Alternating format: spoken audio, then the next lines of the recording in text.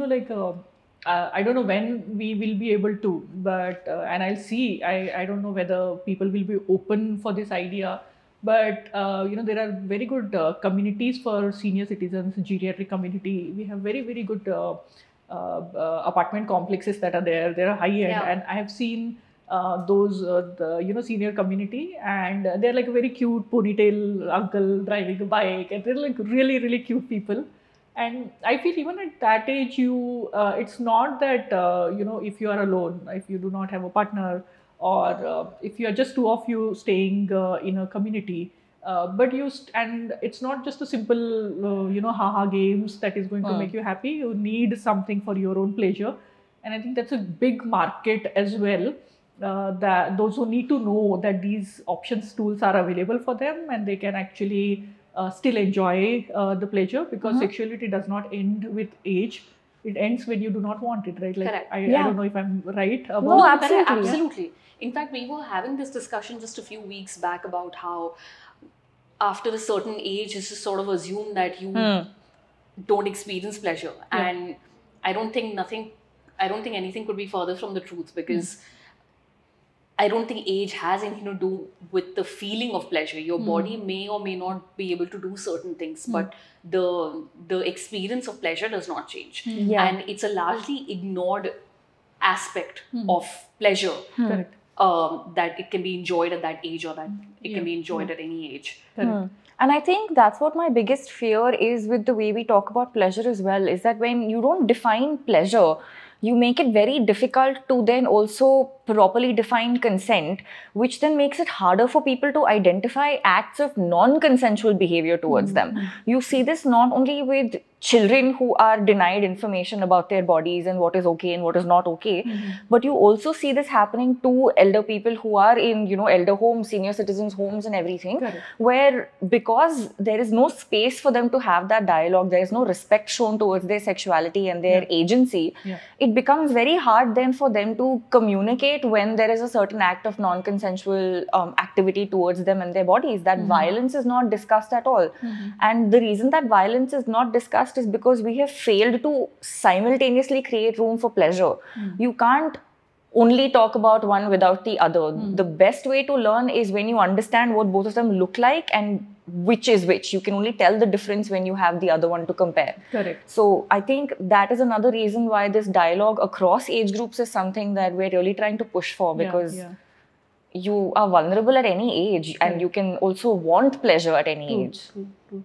You know that um, it's it's not a very direct analogy, but uh, so many people nowadays they say that I uh, I have a very disturbed sleep or I Hmm. cannot sleep early and quickly, and then I keep staying awake whole night and uh, uh, you know many of my people friends those who are into fitness or anything most of the people they complain that sleep is a big problem.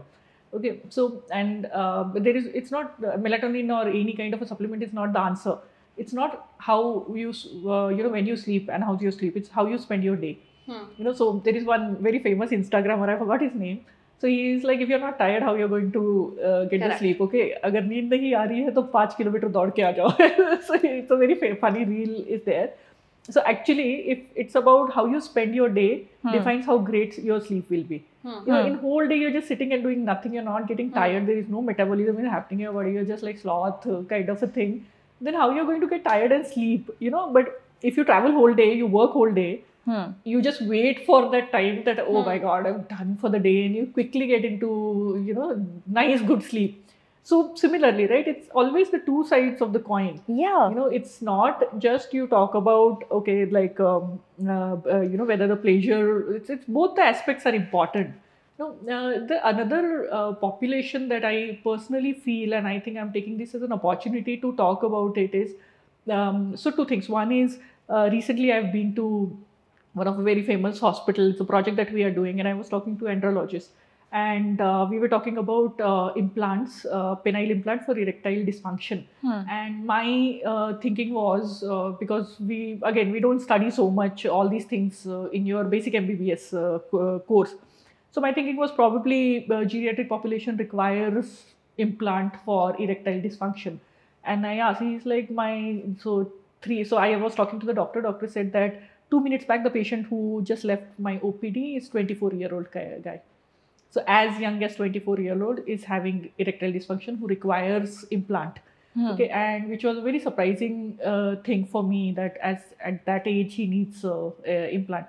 You know so uh, and uh, similarly when we talk about the whole healthcare scenario and i think we discussed last time that think about a child who's probably 18 19 unfortunately underwent uh, or met with one road traffic accident now having uh, paralysis bedridden either in the hospital or at home uh, it's not uh, away from the requirement of the pleasure right Hmm. have all the desires that a person will should have uh, we prescribe medications we talk about whether bed sores should happen or not okay and Hmm. how to care for the body or nutrition uh, but I don't think any person, either the family or the doctor, is asking with how you're taking care of your mental health and your sexual health.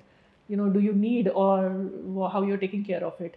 And these these uh, people, those they also need. Uh, so when I look at when I was looking at your portfolio of uh, all your products, I was like, oh, I wish even doctors start prescribing all these things to patients. Those who Yeah. have probably the spine injury, probably the road traffic accident, probably on the Hmm. bed or bedridden or for chronic illness because of that maybe Yeah. stroke okay those who need uh, these things but i don't know whether we'll have that kind of openness in our uh, you know society whether we Hmm. can ask like or can i gift that to the patient friend of mine or somebody i know okay can i do that so i think you know if i if i'll ask that how much sangya should reach to more people Hmm. is when probably doctors start prescribing to their uh, bedridden patient Yeah. No, or I- yeah. I think it's a conversation around pleasure that has taken a step further, right? I mean, at the moment, we're at a place where the conversation about sex is just opening up, where it's beginning to be seen as something that's just a daily part of life. What you're talking about is also a conversation that has a direct relation to the physical well being of a person vis a vis sex. Yeah. And uh, that's taking it a step further. Now we're still only dealing with the taboo where it's just where we're where we're talking about sex as not just an act to be performed to make babies, but as pleasure. To take it a step further would be to relate it to health. And you're right, because there are there are various aspects in which the physical health of it all gets gets impacted by sex, can be bettered by sex like you said, with menstruation, migraines, um, trauma, like you said, about uh, the well being of a person who's been in a physically traumatic accident. But, um, and I do see those happening, maybe not right now, unfortunately. But uh, the, it is the natural evolution of where this conversation is going to go at some Yeah, point. yeah. It would have to lead there. Starting now, where we stop talking about it as something that's just done between a husband and a wife to pop babies. Yeah, correct. But then, uh, you know, while we know that over a period of time this will happen, we see the, you know, one person will start talking. We know that so many opportunities and it'll, it'll get normalized. You know, people will discuss. Absolutely. What about the regulatory require regulations and norms and laws? How that is supporting? You're a lawyer.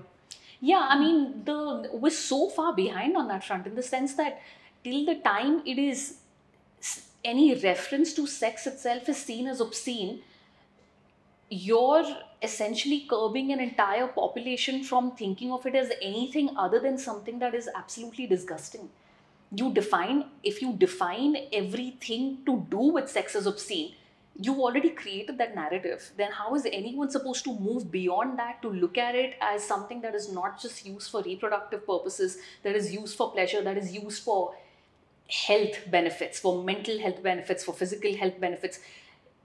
that concept for it to reach there these these barricades need to be dealt with beforehand hmm. and that's our biggest obst- obstacle i mean anyone who's in this industry the biggest reason why nobody wants to enter this industry is because nobody wants to deal with how obscure the laws are about this although the um, law doesn't outright ban sex products um, pleasure products sex toys there is there is just a gray piece of legislature that is just being used for decades on end to say that this is illegal when it's not illegal. It is a mere misrepresentation and misinterpretation. And till we do away with that, the conversation is always going to be limited in that sense. We're still going to be over here talking about this, asking for change, where where any substantial change can just not take place at the pace at which it should ideally take Mm, place. Um, but that's just one of the challenges. Okay.